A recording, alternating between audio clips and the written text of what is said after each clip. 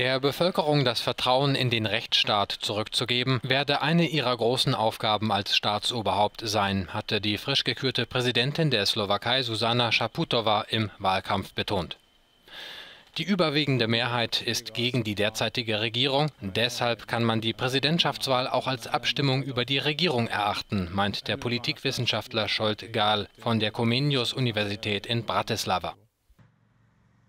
In der Slowakei lebt eine große ungarische Minderheit, zu der auch diese Frau gehört.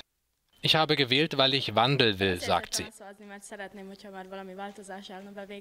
Das slowakische Staatsoberhaupt hat vornehmlich repräsentative Aufgaben, ist aber zugleich Befehlshaber der Streitkräfte und kann hohe Richter ernennen.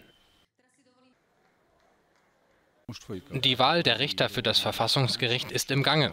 Sollte das so lange dauern, bis die Präsidentin im Juni ihr Amt antritt, könnte sie noch Einfluss nehmen.